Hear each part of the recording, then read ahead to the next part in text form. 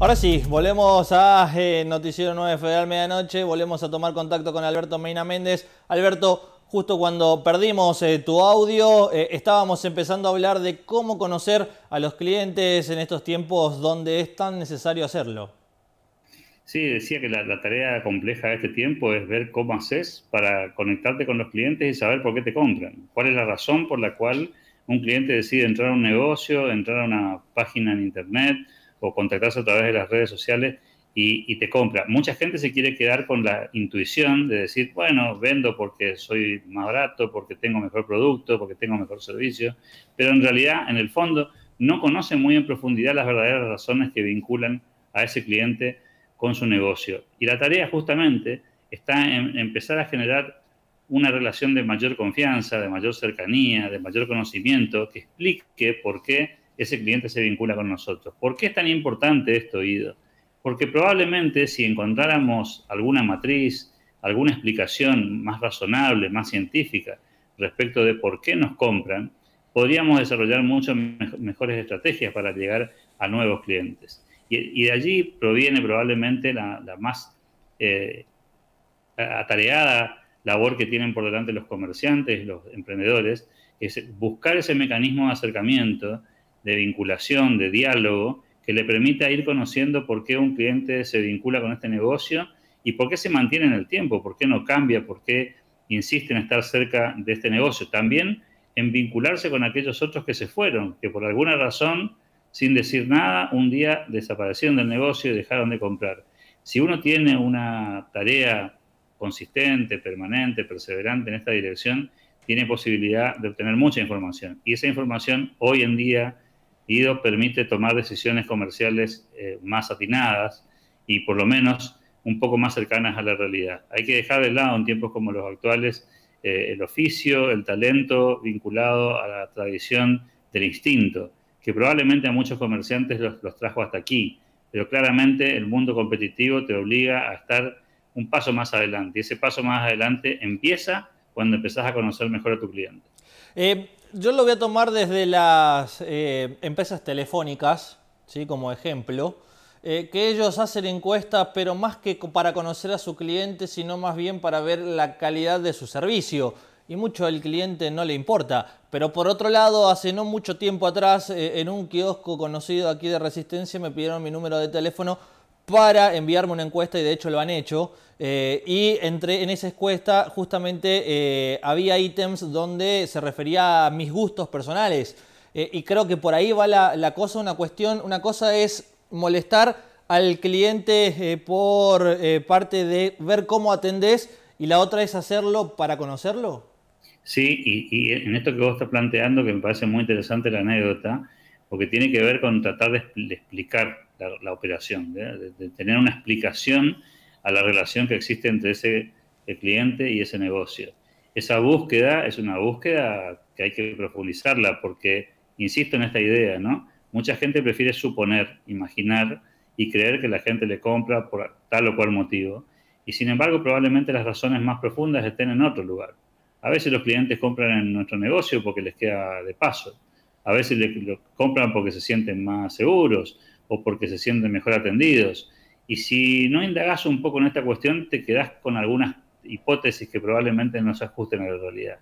Una vez que conoces las verdaderas razones por las cuales este cliente se vincula con el negocio, probablemente empieces a construir eh, muchos más elementos que te permitan sostener esa fortaleza y también trabajar algunas otras que a veces creemos que están resueltas y no están a la mano. Por eso es tan importante analizar en el día a día hoy a nuestros clientes, conocerlos, tener sus eh, datos, permitirnos vincularnos con, con ellos, indagar un poquito más acerca de qué es lo que hace y determina de que ellos nos elijan y eventualmente, insisto en esta teoría, ¿no? Muchos negocios en, en, este tiempo empiezan a preguntarse qué pasó con Guido, que no viene más a comprar.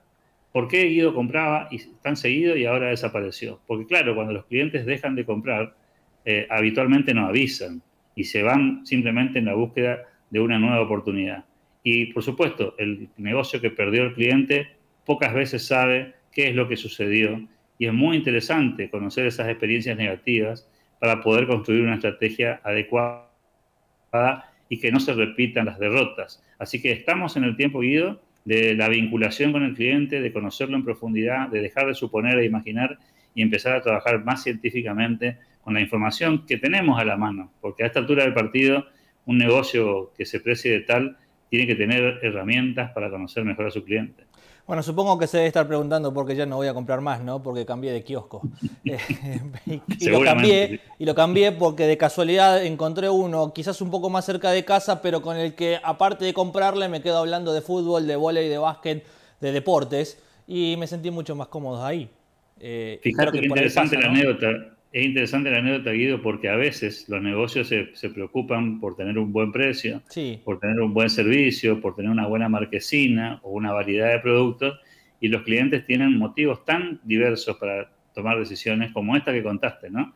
Que te sentís cómodo con la persona que te atiende porque puede entablar una relación más personal y a veces este tipo de elementos son minimizados por, por el mundo comercial y en vez de prestarle atención a aspectos como este que podrían ser este, vivencias interesantes para los clientes, dejan de lado esto y se siguen concentrando en cuestiones que imaginan son más relevantes para el cliente, pero que claro, cuando lo analizás más seriamente, este tipo de anécdotas que vos contás saltan a la vista y explican otra forma de relacionarse. De hecho, pecando con la autorreferencia, para que se entienda, en el kiosco que mencioné en la opción 1, la primera vez que me pidió la encuesta, eh, lo que yo voy a comprar me salía a un precio y en el kiosco donde encontré comodidad, lo mismo, me sale un poquito más caro, pero sigo eligiendo ese lugar porque me siento más cómodo aparte de quizás una media cuadra de diferencia. Ahora, em, esto es una práctica que sí se daba mucho antes, sobre todo en los barrios, ¿no? Donde el kiosquero eh, del barrio conocía a cada uno de sus vecinos, sabía sus problemas.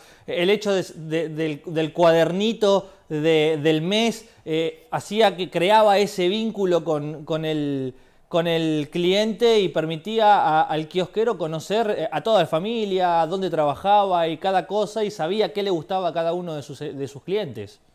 Sí, para aquellos que, son memoriosos, eh, recordarán esa anécdota que vos contás y también se acordarán algunos, hablando de memoriosos, a ese mozo del bar que va siempre, que sabe perfectamente qué vas a pedir y que conoce eh, tu gusto al dedillo, ¿no? Y solamente con una mirada sabe que tiene que traer lo que habitualmente vos pedís. Ese nivel de conocimiento con el cliente es el que te permite tener una mayor contención de, tus clientes y de alguna manera asegurarte permanencia en el tiempo. Pero para eso hay que tener, por supuesto, la oreja suficientemente abierta para poder escuchar a la gente y, empezar a entender qué, piensan los clientes cuando toman decisiones. La creencia de que el cliente siempre tiene la razón pudo haber eh, perjudicado en esta vieja y sana costumbre que tenían los empresarios o los comerciantes de conocer a sus clientes.